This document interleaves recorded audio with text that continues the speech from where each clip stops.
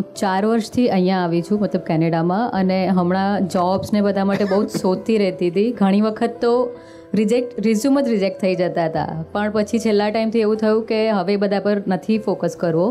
અને સેવામાં, ગુરુ પૂર્ણિમાની સેવા માટે ઓલરેડી રજિસ્ટર કર્યું હતું, તો કે એ વખતે થશે.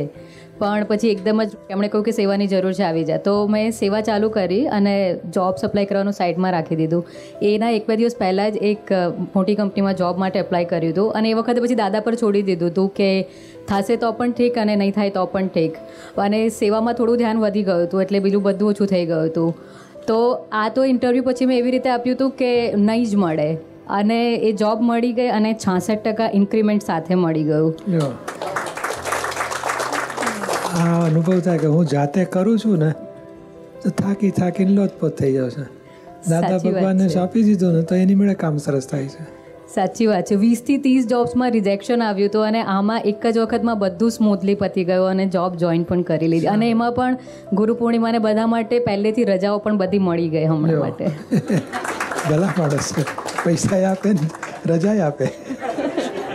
હા બધું દાદાએ જ કરી દીધું બધું. ચાલો સારું. જય સચિદાનંદ.